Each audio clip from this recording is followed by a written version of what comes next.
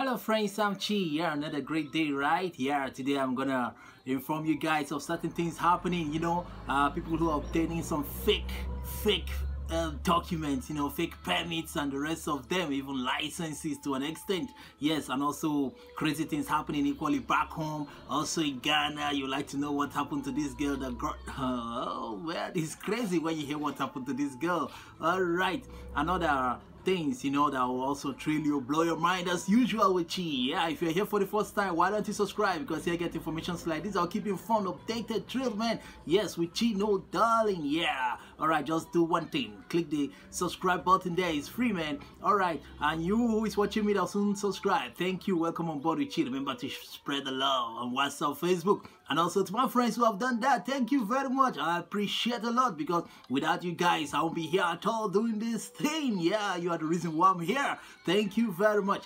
Yes on a very hard note. Yeah in nigeria just um yesterday. You know they said 2 a.m 2:30, whatever they said the time was.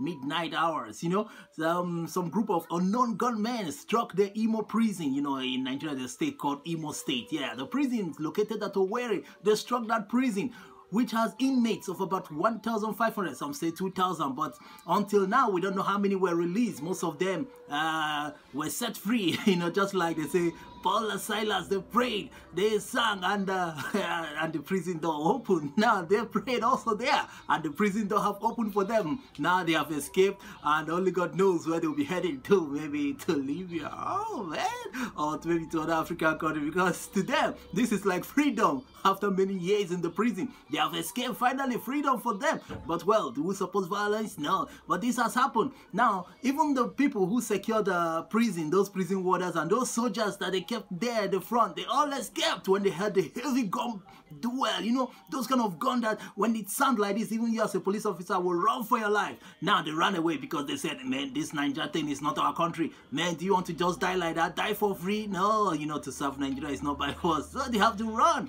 They run. So these guys, these unknown gunmen, after that, went to the uh, state um, police headquarters, you know, there, state CID. They went there and looted their ammunitions, their guns, you know, their firepowers. They looted it.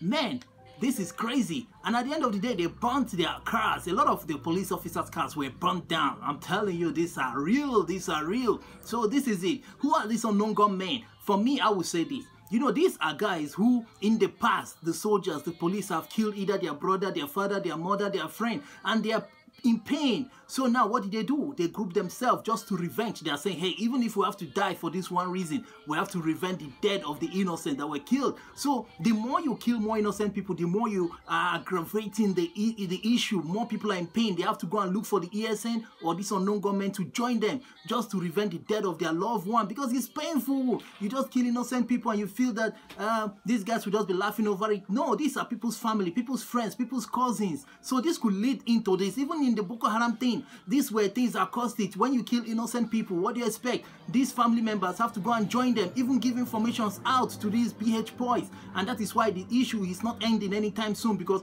people are angry. People are angry. That's why they now took to their, um, uh, they have to take up ammunition just to revenge the death of their loved ones. So if they should just um, um, maintain the rule of engagement, not by hurting the innocent ones, but even if you want to attack, attack those ones who you are going for, the mission. You know, not when you just see anybody, you just shoot and say, hey, you are Biafra, you shoot the person down. At least there's courts that can judge the matters. Or uh, don't, don't just kill innocent people just like that. Just, hey, you're a Biafran guy, papa, you shoot. No, this is not good. You you you make even the family of that person to go and join the unknown government or the, or the ESN just to revenge these angry people you know and again instead of you going for the the headsmen in the past people have been crying lamenting they are raping their mothers their wives their their children have been killed kidnapped in the in their farmland in their own very farmland not in the BH or the um, bandits or Fulani headsmen farmland. In their own very state their farmland. You go there you kill them you eat their crop. Instead of these security forces going after these people with those helicopter gunships whatever you know you're going for those ones who are trying to protect their people it's not fair. Then what happens to these bandits? That means you're giving them more courage to do these things. How many times will I say this thing? This is not fair at all. Now, even in the Onitsha Owerri Road, these unknown gunmen struck again, burning down police, uh, the armies. Their cars were burned down. Man, things are happening things are happening. Even one of the soldiers were lying down there burnt you know that, that means they even poured fuel on that one and burnt him alive. I don't know what happened. So these are terrible things happening now. The country is like um, a serious threat of breaking up anytime soon. Man what do we do? What do we do? I would like to hear your reaction. In abia state now they have put a curfew saying hey because this unknown government could shoot down at any point in time. Because going to say remove all roadblocks. Because the roadblocks of a thing is not uh, is not in the constitution. You just put these roadblocks to intimidate people who are traveling and the rest of them you're not doing the real job. So this is it. So now they are scared now because this unknown government shoots at any point in time. Nobody knows even as i'm talking now i don't even know where they're going to attack from. Even the non-government i don't even know them but i know that these are angry people who have felt the pain of nigeria. So please, the government should do something and bring down the peace that was once there, that lovely country. You know, that lovely country is now turning to something else. Well, leaving that on that harder note, let's come down to uh, Italy. Now they are saying that another decreto aprile, yeah, another decreto like uh, historico sostegno. Yeah, they said they'll, they'll be launching another one because this pandemic is not showing sign of leaving anytime soon. Even the lockdown planning to be extended even until the end of this month. Some are saying even May. Yeah, so please don't go out. You know before going out you need this certificate uh, uh, to show where you're going and where you're coming from. Please i have the link. I can send it to you so you can download the form and fill it up so that you not get multa. Multa is dangerous especially you guys in the camp or out of camp who are about to renew document or get document. You need this document to, this certificate to protect yourself so that you not get multa at all at all because it could be detrimental when you go to renew your document or go for your commission. They could see these things in your system in your profile. So please stay out. And please if you need need a lawyer, immigration lawyer who's going to help you out in appeal, in any issue in Italy at all, at all. He's there to help you, him and his team. Not only him, he has his group of workers, lawyers. So even if you're coming back from Germany, Spain, France, anywhere, this guy could help you go back to the system, you know, uh, to the get you the six months uh, requesta all those kind of things. He does these things. So that is it. Please contact me if you need one. All right. Now to the next one, fake permits, fake permits. Yes, fake permits, these are ongoing, you know. Now this guy went to France to see a friend. From there, he contacted some people, Arabu guys, you know, who were like, hey, we can help you get driving license. It's very easy here. If only you can do this thing, pay us this money, we can give it give it to you. So this guy agreed. He paid them this money, 1,500, close to that, man. So uh, they took him to a place where he wrote the exam. These are all scams going on. So they took him to this place where he wrote the exams, everything, came back, continued his job here in Italy.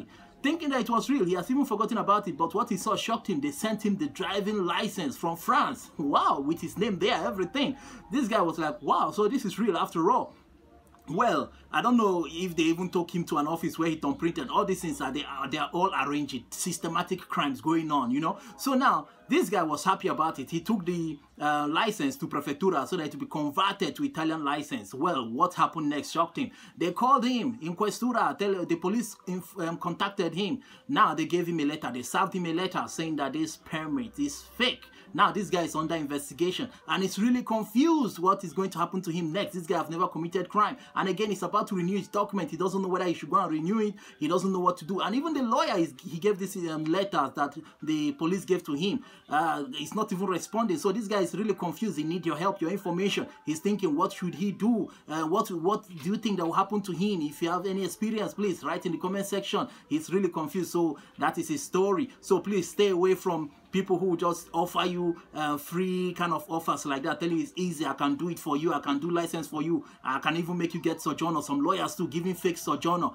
uh, permesso di soggiorno to people, taking them to fake offices to turn print. You know, all these things are the scams going on. So I think the police should um, not even catch the victims, but they should go for the people who are doing these things themselves. Because when you stop these people, then the crime will reduce. And also, some of you who are also working with uh, uh. You went and do autonomo and you think that this uh, commercialista, you give him the money to go and pay the tax, but he's not doing it at all. He doesn't pay this money. So when you go to renew your document, that is where the problem is. I will tell you, where is the modulo? Now you don't have it. You don't have the thing that shows that you have paid tax. And you meet the commercialista, he will tell you, I forgot, I forgot. These are fake commercialista. Even sometimes the autonomo is fake. It is not even properly registered. So that is why when somebody do autonomo for you, go to Central Impiego or even to INPS and find out if that uh, autonomo whatever contract he made for you is active, is reading, even normal work contract.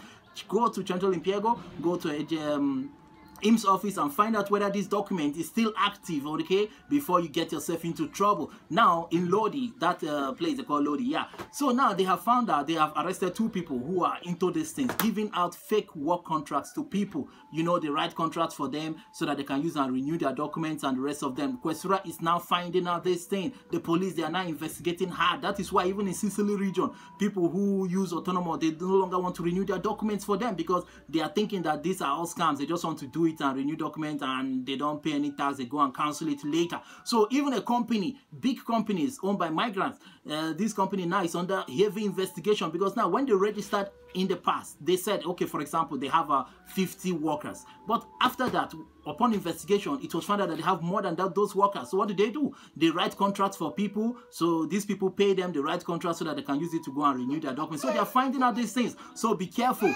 Italy don't want to hear you say you're buying contracts from anybody. They don't want to hear it at all. So please be careful about that, okay? When you are going to do these things, just try to do the right thing. Get your real autonomo and pay the tax and be free from all these troubles. Because when you got yourself into Questura, Questura is very deadly. They can frustrate you for many years in this issue. And sometimes you can even pay fines or go to jail. So please be careful, okay? So stay out of trouble. All right, now in Ghana, this girl, Sophia Haroon, yeah, she's an actress, but what she said will, will shock you, man. So this girl, in an interview, yeah, this girl has everything, everything behind the defenders, yeah. But in this interview where she granted, she said this uh, this musician Stonebwoy has been a guy that she has been longing to meet. I'm telling you. But now she said when she met this guy, this guy just put in his hand on her shoulder kind of hugging her, you know, that way guys do it. Yeah, now what happened? She said she she, she released, man. she got wet. Did you did you see it? I did not see it myself. I did not see, but you know, guys, you be wondering, have you ever seen that before? Guys, guys, guys, have you ever? So this was what she said she released because the feeling, she said she, the feeling was too much, the sweetness, man. You know, somebody have been dreaming to meet. Guys, you know, you know how it feels, even girls, you know what I'm saying? So this is what the girl said. Sophia Haroon, yes, in Ghana, this Ghana nice actress. So she said this tomboy guy made her do it. Ah, just by touch. Who knows what will happen when the real thing happens? Well, well, well, don't get it twisted. Don't get your mind dirty, okay? I'm signing out. Remember, to show me love. That's the best you can do for G. Alright, subscribe, share to your friends on WhatsApp, Facebook. Okay, remember to press that bell. That bell is very important. If you're not getting notification, unsubscribe and subscribe again. And if you don't see me, please check on my channel. Maybe I did a video, but no YouTube did not give you notification. Let's see in the comment section, you know how to do things there. So crazy, so buzzing. Yeah, I'm signing out. I'm Chicha. One love.